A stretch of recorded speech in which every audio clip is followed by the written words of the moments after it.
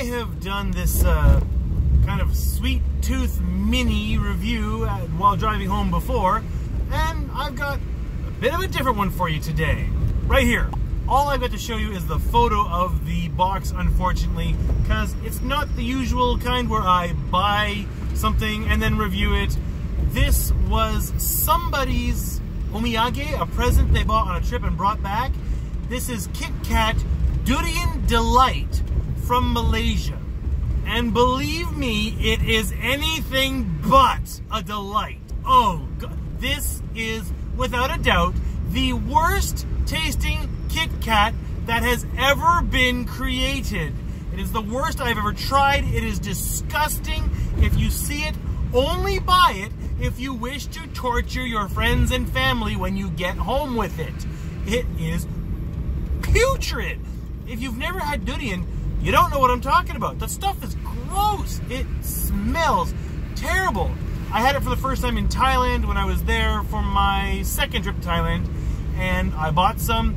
Did not see the don't take any durian, no durian in the hotel sign. Didn't see that. Went up to my room with it.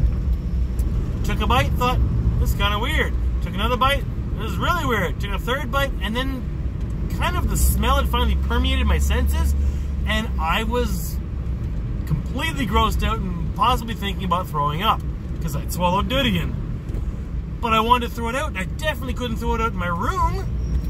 And I didn't know about taking it back out because it was starting to stink. And, I, and in the hallway, I found an open window. So I pitched it out of the open window of the hotel, aiming for this alleyway I could see. Didn't make the alleyway because the third floor stuck out farther. Hit the roof of the hotel and it exploded all over the wall of the next building. And it was still there like four days later when I came back to the hotel. Three days later? I'm not sure. Oh God. The pack had already been opened because it was brought back as omiyage. Someone opened it and broke it into small pieces. So it had been exposed to oxygen for a few days. I don't know if that helped it or if it made it better. If it made it better, I'm glad I didn't taste it fresh. But I mean, it just I probably just made it taste a little more stale. Either way, it tasted pretty much like durian fruit, which is something that you really don't want to have unless you want to be able to say, I have tasted durian. That's the only reason. It was basically like the fruit, except not the fruit's consistency because it was the not really chocolate chocolate of uh, the non-chocolate flavored chocolate things. You know what I mean? Like strawberry chocolate isn't real chocolate, white chocolate isn't real chocolate. That's the kind of non-chocolate chocolate it was. So it was a little sweeter than durian would be naturally, but it wasn't any better tasting.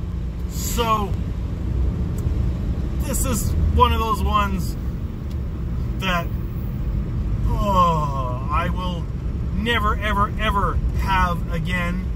You know, something to say, well, I'll never have it again, but I'm glad I tried it. This I can say, I'll never have it again, and I kind of wish I never had it in the first place. Ugh.